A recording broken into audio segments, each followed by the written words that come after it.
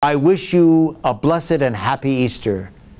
Despite the uncertainty of our times, the inconveniences, and the sacrifices, we are still a people of hope. Walter Reed National Military Medical Center is receiving backlash for directing a cease and desist order for pastoral care. Days before Holy Week, the hospital ended its contract with Franciscan Catholic priests and friars at the Holy Name College. The priests had spent the last two decades ministering to U.S. military personnel, veterans, and their beneficiaries at the medical center.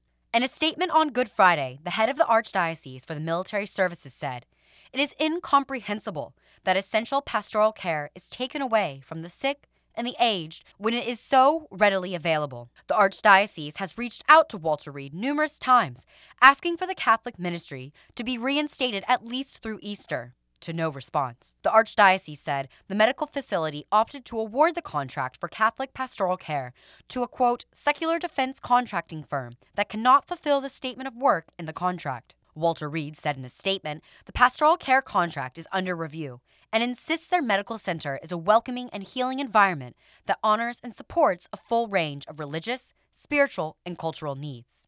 Walter Reed does perform transgender transition surgeries. The Catholic Church has recently come out against these.